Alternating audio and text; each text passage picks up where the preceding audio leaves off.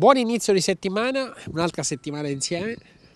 Beh, l'importante è sempre in vedo, salute. eh, ti vedo convinto. No, no, no, per carità. Sai, lunedì benissimo. capisco che è un giorno difficile. È lunedì. eh, è Meno male che non è venerdì, come dice Di Gabue. Eh sì. Se no... Lo Come fa? Come fa?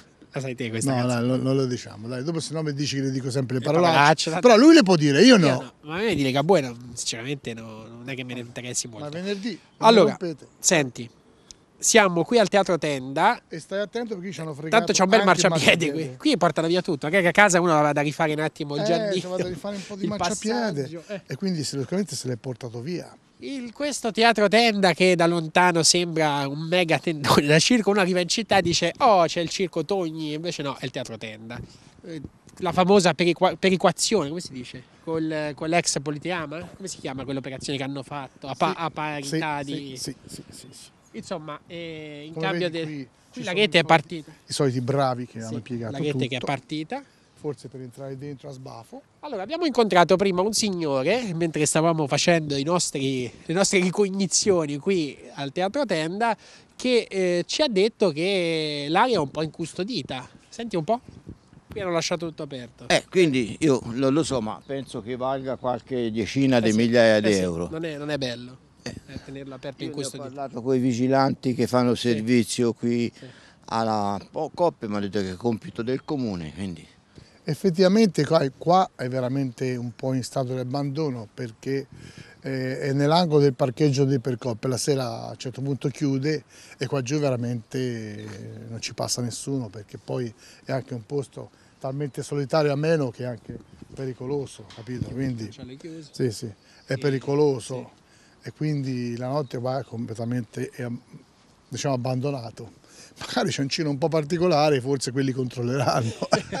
Giro- quelli per- A cosa alludi, È scusa? un giro particolare. Un giro la particolare la, la notte nel parcheggio qui? Della- lì- della- non si chiama più Ipercoppa, anche se la gente la- continua a chiamarlo così. No. Ora è Copfi. Eh, va bene, vieni a vedere.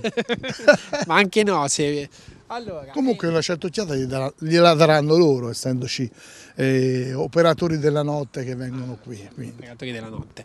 E comunque noi siamo qui anche, a parte appunto per- abbiamo fatto sentire insomma eh, chi ci passa anche quotidianamente, qui tutto aperto? Ah, i quadri tutti aperti, eh? hai capito? Sì, Molto in sicurezza. eh? molto in sicurezza.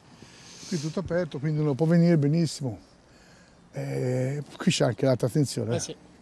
Perché poi questo sicuramente il contatore è attaccato, quindi eh, tutto aperto. tutto aperto e poi questo teatro questo teatro che Viene utilizzato ogni tanto quando facciamo dei concerti per il calcit oppure quello dei ferrovieri, per la musica anni 60, qualcos'altro ci viene fatto durante l'anno, poca roba. insomma rispetto a quello che doveva essere diventare il fulcro degli eventi musicali non mi Un pare proprio. investimento da 800.000 euro più, più dopo tutti gli impianti che sono stati fatti, eh, non si giustifica per farci 4-5 manifestazioni all'anno.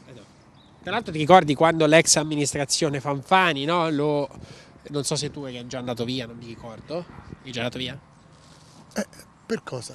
quando si progettò questo teatro tenda Ero già andato eri già via. andato via Eh, insomma si faceva i paralleli con l'ex Sasciol o Biol come si chiama adesso di Firenze ma è tutta un'altra storia insomma, quello è all'interno di un grande circuito di eventi nazionali e non solo Non capisco no. perché qualcuno non se lo prende. che- eh, o ci sono problematiche di natura Tecnica. tecnica, permessi, agibilità e così via.